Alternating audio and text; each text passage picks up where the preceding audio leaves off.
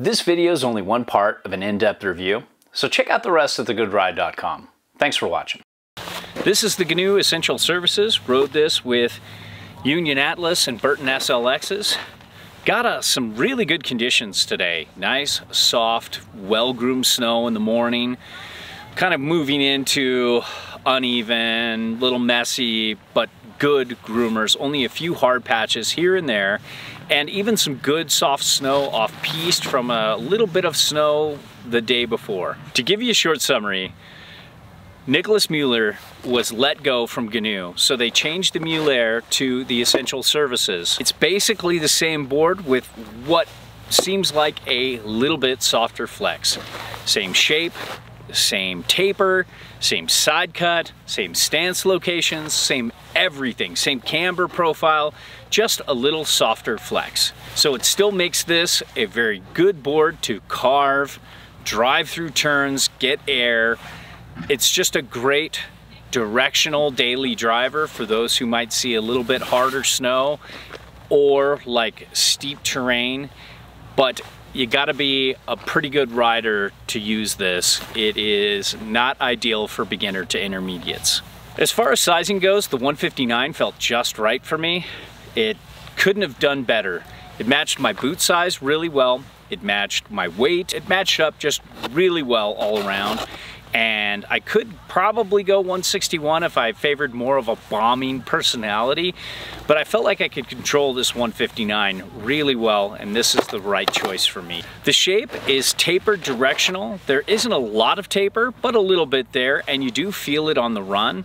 It's funny compared to the Burton Flight Attendant, you actually feel a little less taper with that, even though they were designed basically for the same rider. You feel a little more taper, a little more surfy, you need a little more back foot weight on the tail, on groomers, and then a little less in powder, but we'll get to that later.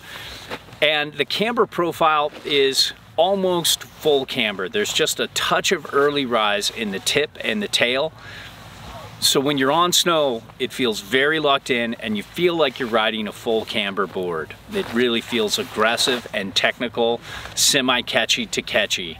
So not an easy board to skid turns or play around with. Now when it comes to flex, it's nice and like, I would say medium in the nose here and it was easy to do some nose presses and such. Then between the feet right here, it's pretty stiff. I would say medium stiff. And then kind of back to medium, bordering on medium stiff in the tail. I found that I could butter off the tail pretty well for how stiff it was, but it definitely took some work, especially compared to the Yes Pick Your Line and the Libtech BRD. The hometown hero from Burton was about the same. Uh, it took a little bit of work, but it's very doable and it's a little more doable than the Mueller before.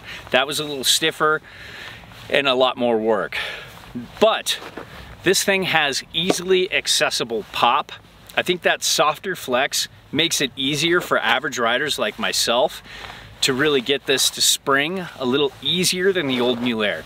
It's still nothing like the hometown hero, but kind of on par, maybe a little bit better than the Yes Pick Your Line, and a little bit better than the, the BRD, but really good there. Really fun, easy board to generate your own air with. And it tracks well into a little natural feature here and there for the kicker, and I really enjoyed that on the old Mueller and the new Essential Services. Now when it comes to speed, the base glide's good, just like it was with the Mueller before. It's not great, it's not amazing, but it's pretty good. It held up well against all these other boards you see beside me here. I would say maybe um, the Pick Your Line and Burton Hometown Hero were a little faster, but eh, you know, it's really close and just need to keep it well waxed and it'll do its thing. And if it's not well waxed, it still does a pretty good job keeping its glide. Now, I thought the softer, the slightly softer flex would cause problems picking up speed and cause a little more chatter. Now, I'm no bomber. I'm not some guy who just likes to point it, but I didn't feel that much difference between this and the old Mueller. So that was kind of cool. It it can point it. It's pretty good. In uneven terrain, I actually like this a little better than the old Mullair because that softer flex just seemed to kind of absorb that micro bumpy uneven snow and keep it from coming up into my joints and bothering me so I really like that and when it comes to edge hold this disruption in the side cut it's kind of not their mellowest it's not as mellow as the BRD but it's not as aggressive as like full-on mag let's say from the Libtech EJack Knife that has a much more aggressive Magne-Traction. So if you're riding in hard to icy snow and you like kind of like a mostly camber or almost full camber ride, that might be the better call. But if you're like me who wants to something that doesn't grab that hard in softer snow, but you want to be ready for those hard ice patches and those hard days where you have to ride for a little bit in hard snow before it gets good, this is a great call. Now when it comes to turning and carving, this and the Hometown Hero were, were the heroes for today. These were great boards to carve with.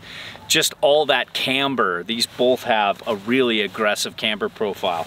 The Pick Your Line and the BRD weren't that far behind, but these were the, this is where they shine here. It was really fun to initiate a turn. It turned quickly and it really springed out of a turn and carved really well. It was it was fun. This is medium fast, almost fast, and it got anywhere I wanted to when I wanted it to. And then when you wanted to really commit, yeah, it, you need to put a little more back foot weight, but it just springs out so well. And if you ride a little more posy, it's gonna reduce the back foot weight you need to put into that. But you don't want to go too crazy with this. This is still a snowboard that can be turned and ridden anyway. It doesn't need to be a particular stance, angle, or width to make it work. Now, conversely, powder. Um, the Hometown Hero does a pretty good job, but I would take the BRD and the Yes Pick Your Line over these two any day. This does well, but there's not much rocker going on here. You got a longer nose, but this is better for those who like that steep angle powder where they don't need as much float. If you're riding a mountain like I do a lot, Mount Bachelor, this isn't ideal because it takes a lot more work to stay afloat. Now I haven't ridden this in powder, but I rode the same exact shape and camber profile on the Mullair in powder and it took some work. It definitely some, some rear leg burn compared to some of its peers. Switch is pretty doable, and this is a fun board to ride the half pipe with. And it really, like I said before, it really tracks well into a kicker. So as long as you're kind of going more directional in the pipe and directional on your jumps, this could work. Definitely not a great jibber. And overall, I think I was kind of surprised. I thought the softer flex would make me not like it. This is a, a technical, aggressive board with just a slightly softer flex that makes it more accessible for average riders like myself. So I almost like this even more than the Mullair. All our reviews are a best effort, objective opinion from an average rider's perspective. There's no brand oversight, we're free to say whatever we want. We send back everything unless it's a favorite, then we ask to keep those or straight up buy them. Now, if you need advice, fill out the MeHarmony profile in the Contact Us section of the site. It's the only way I can help you properly. If you want to support us, and if what we reviewed appeals to you, it helps if you buy through our links. So, thanks for watching.